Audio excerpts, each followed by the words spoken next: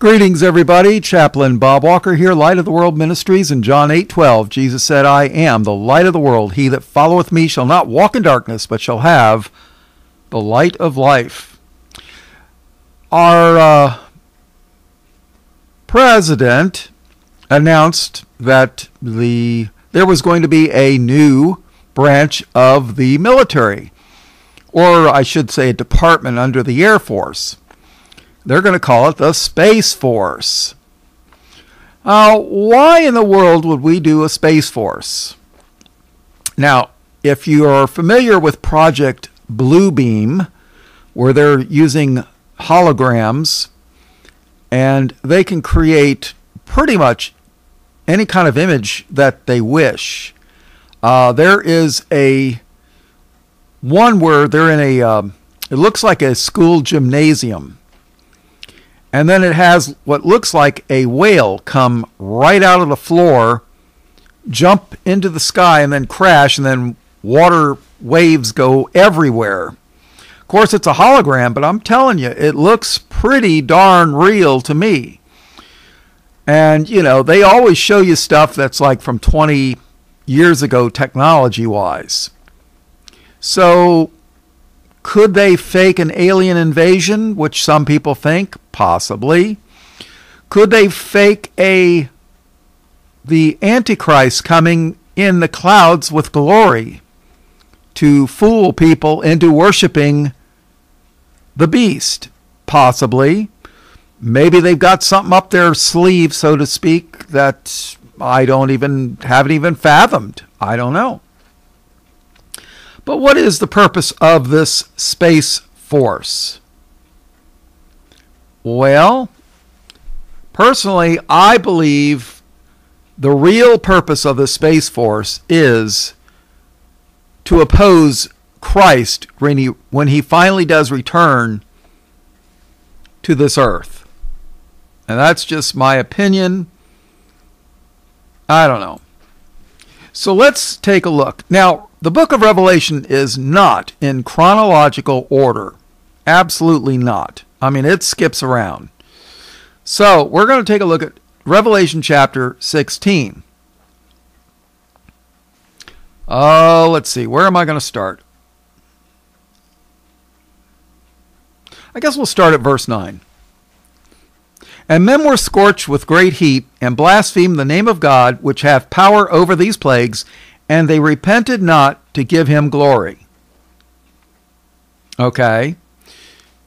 So this is during the tribulation period when God is pouring out the vials and the uh, plagues upon the earth. Verse 10. And the fifth angel poured out his vial upon the seat of the beast, and his kingdom was full of darkness, and they gnawed their tongues for pain and blasphemed the God of heaven because of their pains and their sores, and repented not of their deeds. Verse 12 And the sixth angel poured out his vial upon the great river Euphrates. And the water thereof was dried up, that the way of the kings of the east might be prepared. Now, Kings of the East, what do all you think of? I think of China. Do you know that China could field an army of 200 million easily? I mean, moving them would might not be easy, but they could field an army that large.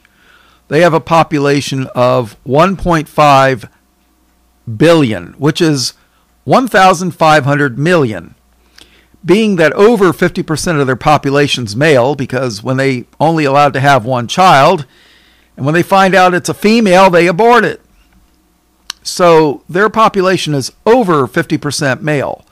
So you got to figure they've got at least 800 million males to choose from. So, you know, if you took 25% of the population, you know, everybody under a certain age, let's say 18, 17, 16, and then everybody above, oh, I don't know, 35.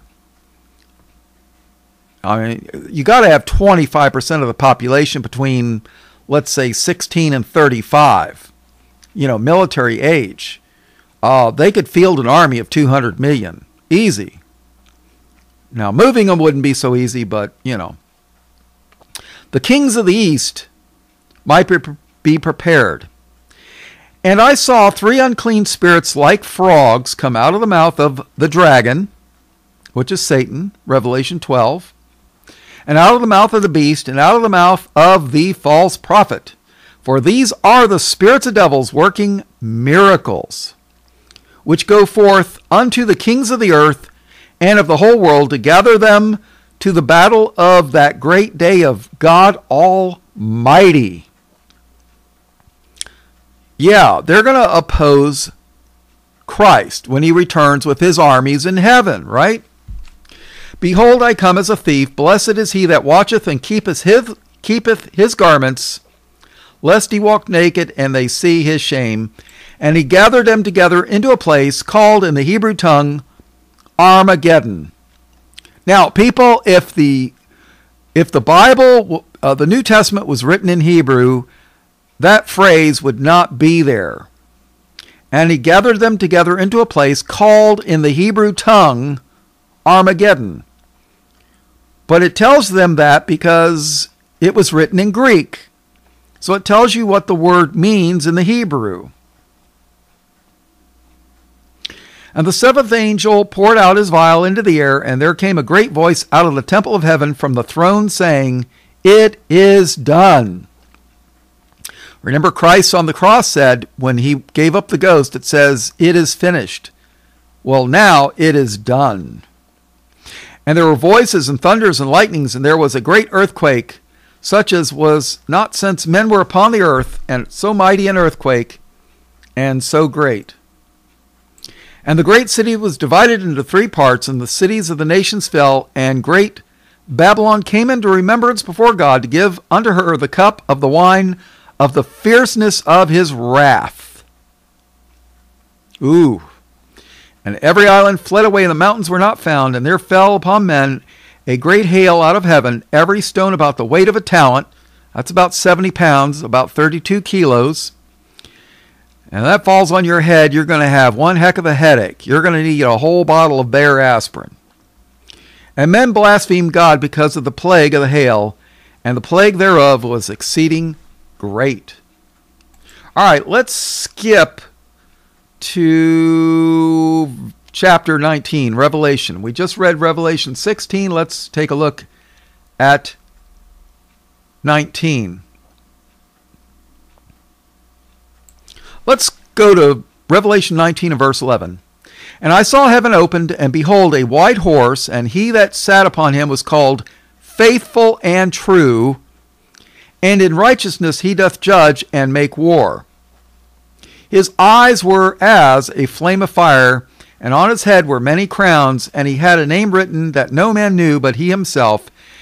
And he was clothed with a vesture dipped in blood, and his name is called the Word of God. So this is Christ. And the armies, and the armies which were in heaven followed him upon white horses clothed in fine linen, white and clean. And out of his mouth goeth a sharp sword, that with it he should smite the nations. And he shall rule them with a rod of iron, and he treadeth the winepress of the fierceness and wrath of Almighty God. And he had on his vesture and on his thigh a name written King of Kings and Lord of Lords. And I saw an angel standing in the sun, and he crieth with a loud voice, saying to all the fowls, the birds, all the fowls that fly in the midst of heaven, Come and gather yourselves together unto the supper of the great God. See, the fowl, the, the birds are going to have a feast. You know, the vultures, they're going to have a, a feast that ye may eat the flesh of kings, and the flesh of captains, and the flesh of mighty men, and the flesh of horses, and of them that sit on them, and the flesh of all men, both free and bond, both small and great. And I saw the beast and the kings of the earth and their armies. Ah, and I saw the beast and the kings of the earth and their armies gathered together to make war against him that sat on the horse and against his army. Remember, there was war in heaven. Michael and his angels fought against the dragon and his angels. Well, now there's going to be God's armies, Christ's army, against the armies of the devil, the dragon, and his earthly minions on this earth. There was war in heaven. Well, now there's going to be a war on earth. And I saw the beast and the kings of the earth and their armies gathered together to make war against him that sat on the horse and against his army. And the beast was taken, and with him the false prophet that wrought miracles before him, with which he deceived them that had received the mark of the beast, and them that worshipped his image. These both were cast alive into a lake of fire burning with brimstone, and the remnant were slain with the sword of him that sat upon the horse, which sword proceeded out of his mouth, and all the fowls were filled with their flesh. Wow. So there's not it's going to be a very short battle, I'm pretty sure. I'm not certain, but you know, hey, short battle, you know. And you know what kills me? These these idiots that worship the devil actually think they're going to win this war. And after all, you know, Satan's convinced them and said, well, you know, uh, don't believe God's all powerful because if he was, well, why am I still around? See, they don't understand God's purpose. God allowed Satan to exist to try and tempt people to see. God wants to know, wants you to know. Are you going to follow Christ or are you going to follow the devil? And all these pre-tribbers that think that they're going to not going to be here for the mark of the beast and the tribulation, they're going to have to make a choice.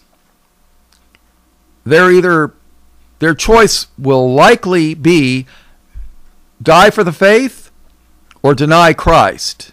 And if you deny Christ, he'll deny you before the Father and his angels. He's promised that.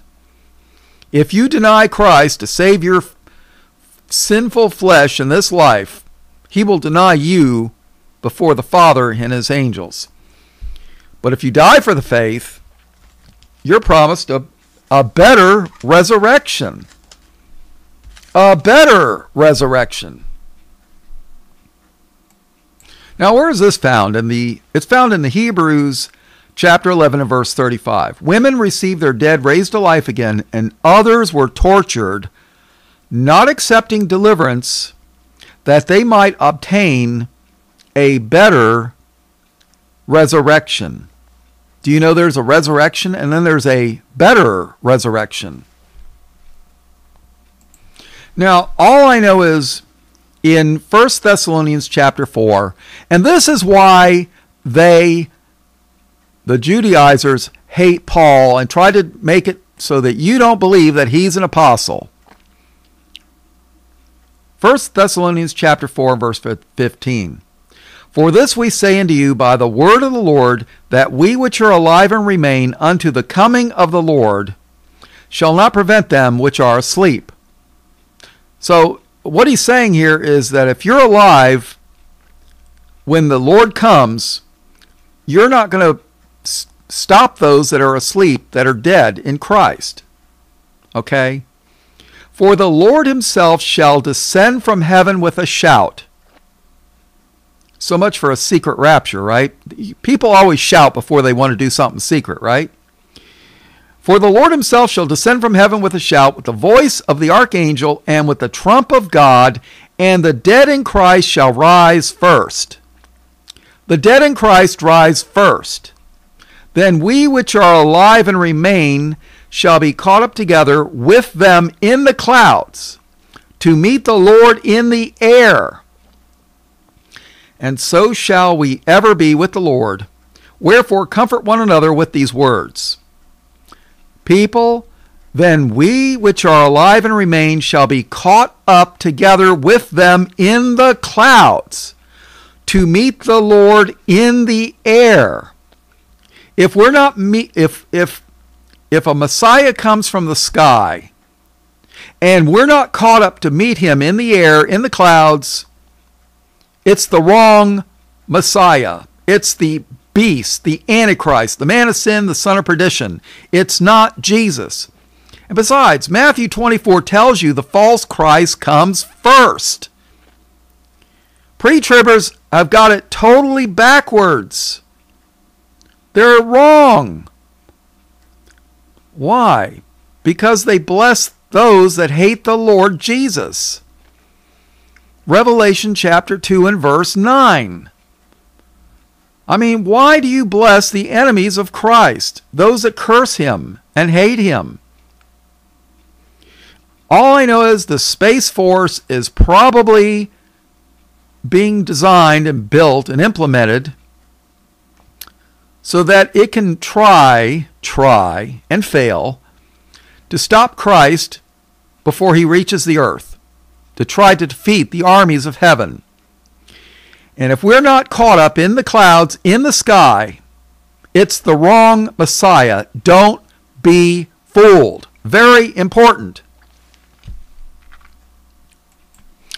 Now in Matthew 16:25, Jesus said, "For whosoever will save his life shall lose it, and whosoever will lose his life for my sake, for my sake, shall find it."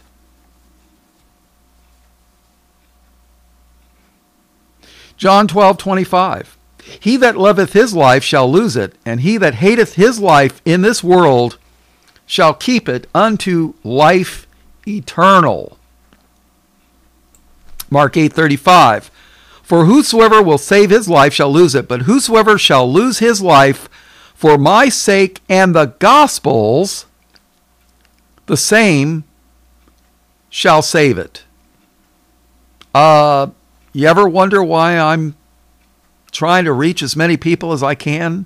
People, I got a huge red bullseye on my back. I mean, I am on so many lists. When I first came to the Lord uh, in the late 89 and early 90s, my phone was tapped. Uh, my mail was getting opened. I mean, they they know who I am. They know who I am. I'm on so many of their lists, but uh, am I really that worried about it? Yeah, not really. The Lord has to allow whatever happens to any of us has to be allowed of the uh, Lord. Read Job chapter 1. Satan had to cast a, uh, a bet to the Lord, and the Lord accepted that bet and said, Well, you could do whatever you want to him, but you can't touch his life. You can't kill him. Anything else you want to do is fine, but you can't kill him. And uh, God took that bet, and Job was uh, faithful unto the end. He wasn't perfect, but he was he was faithful to the end. And uh, I pray the Lord gives me strength to do the same. But people, that's why I tell you, I, I try to warn about the important stuff. How many people are going to take the mark of the beast thinking they're not going to be here for the mark? The churches will the churches will tell them to take it because you can't pay your tithe otherwise. And besides, are you going to let your children starve? Oh, if you don't take the mark, your children are going to starve. You can't buy or sell. But isn't that a denial of having faith that God could feed your children even if you can't buy food? I think so. I think it's a de- denial. I really do. I mean, let's face it, when the children of Israel were in the desert after the Passover, after the during Exodus, God fed them with manna and he gave them water to drink out of the rock. Couldn't he do it again? But Lord, I had to take the mark to save my children's lives. I couldn't buy them food. Depart from me, ye that work iniquity. I never knew you. Probably the scariest words you'll ever hear in your entire existence. And I'm probably paraphrasing that, but uh, you get the idea. So if we're not caught up to meet the Lord in the air, it's the wrong Messiah. So, what can I tell you? The Space Force. Yeah. You notice it looks exactly like the uh, Star Trek emblem. I don't know how many of you people are Trekkies, but uh, I grew up with that stuff in the uh, mid 60s. Yeah, they've been pushing this garbage for a long, long time. All right, all blessings, praise, glory, and honor to the Lamb of God slain from the foundation of the world. One day he'll return in glory with his armies. May he give me a flaming sword. I'll know what to do with it. Preferably sends me to uh, San Francisco. I'll know exactly what to do with that flaming sword. All blessings, praise, glory, and honor to the Lamb of God slain from the foundation of the world. In Jesus' name, amen.